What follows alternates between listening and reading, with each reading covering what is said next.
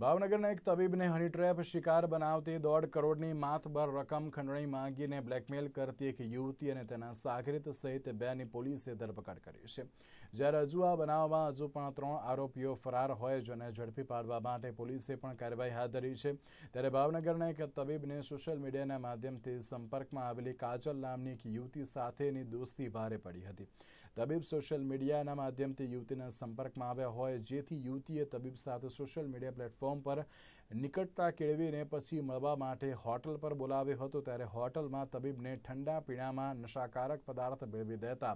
તબીબ અર્ધ બેબાન અવસ્થામાં હોય ત્યારે કઢંગી હાલતમાં યુવતીએ તબીબ સાથે વીડિયો બનાવીને બાદમાં યુવતી અને તેના સાગરીત દ્વારા તબીબને વીડિયો મોકલીને દોઢ કરોડની ખંડણી માંગી હતી. જ્યારે તેના લઈને પોલીસે પણ વધુ તપાસ હાથ ધરી હતી.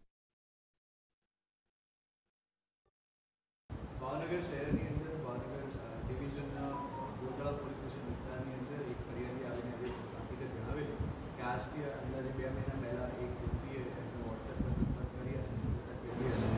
એમને હોટલમાં બોલાવેલા અને ત્યારબાદ કેફી પીવભાઈ અને એમનો અ,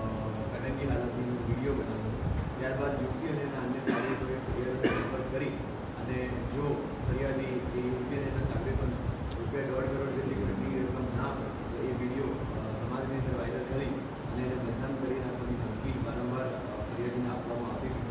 આ ફરિયાદીએ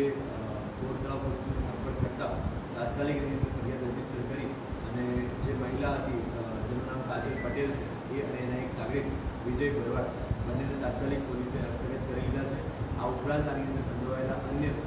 બે ઇસમો જે નામજોગ ફરિયાદ છે અને અન્ય અજાણ્યા ઇસમો જે પણ આ અ, બાબતોની અંદર સંડોવાયેલા છે એમની તપાસ અત્યારે ચાલુ છે અને અ, ભાવનગર પોલીસ તાત્કાલિક એમની ધરપકડ કરી અને આ પ્રકારના ષડયંત્રની અંદર કોણ કોણ લોકો છે પહેલાં આ લોકો કોને કોને ભોગ બનાવી ચૂક્યા છે કોની પાસેથી આ પ્રકારની ટ્રેનિંગ લઈ ચૂક્યા છે એ તમામ પાસાઓને ધ્યાનમાં રાખી અને તપાસ અત્યારે શરૂ અ, ચાલુ સાબરકાંઠા જિલ્લામાં